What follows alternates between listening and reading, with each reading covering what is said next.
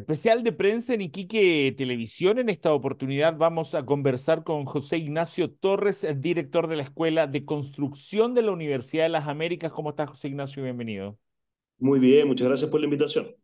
Eh, estamos frente a una situación que está golpeando a lo que es la construcción en Chile y sube eh, la cantidad de empresas que se reorganizan, sin embargo, baja la cantidad de empresas que quiebran.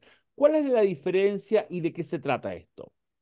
Mira, básicamente es una oportunidad, o sea, es como aprovechar la oportunidad para no quebrar y no dejar tras de sí tan solo deudas, sino que aprovechar el proyecto o la inversión que se hizo en un proyecto. Finalmente, por más que yo haya terminado de construir, yo me quedé con un departamento y ese departamento le puedo dar algún valor. Entonces, muchas inmobiliarias prefieren reorganizar eh, sus deudas, eh, adquiriendo nuevos socios, cambiando de nombre, fusionándose, para poder seguir aprovechando su capital. Y en el caso de las empresas constructoras les pasa lo mismo, o sea, como les falta pega, de repente prefieren reorganizarse para poder acumular clientes de otras empresas y le pasa algo a las constructoras con sus costos fijos, porque tienen de repente equipos muy grandes que requieren financiar. Eh, eso es más o menos un poco la, la, la diferencia. Cómo cuando, yo aprovecho. Cuando quiebras, tú desapareces. Así es. Y cuando tú te reorganizas, es como que organizas nuevamente tus deudas, tus activos, tu pasivo, sí. digamos, y vuelves a dar, le das una vuelta nueva a la empresa, un aire nuevo, otro estilo. Ahora, ¿por qué pasa esto según tu mirada en las empresas constructoras del país? ¿Qué pasa, por ejemplo, en lugares eh, que se construye tanto como Iquique, como Antofagasta, en que hay un movimiento inmobiliario súper fuerte? Claro, hay oportunidades.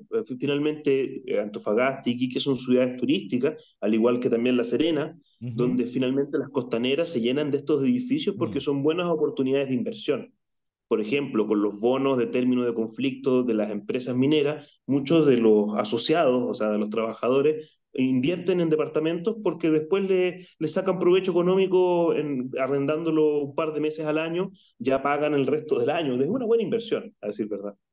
Eh, pero, sin embargo, ¿esto ayudaría a que en esos lugares eh, un departamento sea más caro y que tal vez complique más a una empresa para venderlo o no? Sí, bueno, siempre como nos enseñaron en el colegio, la, oferta y la demanda están linkeados. O sea, si aumenta la demanda, la oferta va a subir sus precios. Pero en este minuto de crisis, como hay mucho departamento en storage, o sea, que, que, que está disponible y que no lo han podido vender, evidentemente las inmobiliarias les conviene tener velocidad de venta para poder tapar los hoyos de los proyectos anteriores y poder seguir invirtiendo. Y las empresas constructoras lo mismo eh, necesitan eh, movimiento, aunque sea construir a bajo costo, pero construir. ¿Qué pasa, qué pasa José Ignacio, en, en una situación en que hay una desaceleración de la economía, etcétera, etcétera, pero se apunta a que la construcción es uno de los principales mercados, uno de los principales negocios y es uno de los que más ha caído. ¿Cómo podemos reactivar eso? Según tu mirada, ¿tendría algo que ver un poco el gobierno? ¿Tendría algo que ver la empresa privada? ¿Tienen que ver la banca? ¿Quiénes tienen que intervenir para poder dinamizar esto? Mira, por una parte, eh, la Casa Central, o sea, el, Banco Central del, de, del, país, puede manejar las tasas de interés y siempre el bajar las tasas de interés va reactivando los proyectos en la banca privada. Por otra parte, la banca privada también, hay un tema de, de confianzas eh, asociados a que finalmente eh, sus empresas que le prestaron dinero no se lo han podido devolver. Entonces, el, el, el, banco, una vez que, es como un círculo vicioso, una, una vez que las empresas logran tapar los hoyos anteriores, el banco necesita mover dinero. Entonces, eh, evidentemente le va a prestar primero a los que más confían, principalmente las grandes empresas, y después va a ir buscando empresas más pequeñas. ¿Ah? Y siempre en estas crisis, en las empresas más pequeñas son las que van quebrando y las grandes buscan reinventarse, reorganizarse y algunas quebran, pero después vuelven a nacer una vez que hay oportunidades. ¿La reorganización va a permitir que sigamos intentando dinamizar el mercado o va a significar que vamos a tener un mercado más lento en los siguientes años? Mira, siempre la reactivación es más lenta que la bajada. O sea, la, la, la, curva de subida tiende a ser un poco más lenta y después, boom, baja más rápido. pero siempre también hay oportunidades para que finalmente las empresas innovadoras, las empresas que buscan productos de mejor calidad, eh, con mejores materiales, con mejores sistemas constructivos, son las que van surgiendo o resurgiendo. Siempre después de las crisis de construcción, que son cíclicas. O sea, no es tan solo esta crisis, la del 2005, la del 2018. Cada una de esas crisis siempre lleva a una crisis del país y atrasito una más exagerada dentro del mercado inmobiliario.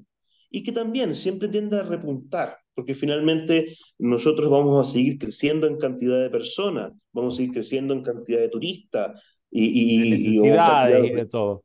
y, lo último, eh, ¿nos reactivamos o no nos reactivamos en construcción y en cuánto tiempo más o menos? Mira, no tengo la, la, la, bola mágica, pero finalmente sí. Bueno, vamos a reactivar, como te cuento, es, un, parte de un ciclo y es normal que así sea. Eh, actualmente existen muchos proyectos en camino que han ido acumulándose. Proyectos cuando digo que los planos, los elementos de estudio previo a construir. Y hay muchos que están en proceso a la espera de justamente que los bancos vuelvan a dar créditos y eso se va a reactivar. Las empresas constructoras necesitan movimiento, las empresas inmobiliarias también requieren mover sus capitales. Entonces, la necesidad de ello existe. Y el mercado de la construcción es un mercado que abarca más o menos el 10% del PIB y que tiende a ser muy reactivo, o sea, tiende al aumento de construir, ¡pum! ponen una gran cantidad de dinero. Claro, así es. Y dan mucho trabajo también, ponen por lo mismo. Así es. José Ignacio, gracias por haber estado con nosotros, que estés muy bien. Gracias, querido. Igual. Especial de prensa, entonces en Iquique Televisión estuvimos con José Ignacio Torres, director de la Escuela de Construcción de la Universidad de las Américas.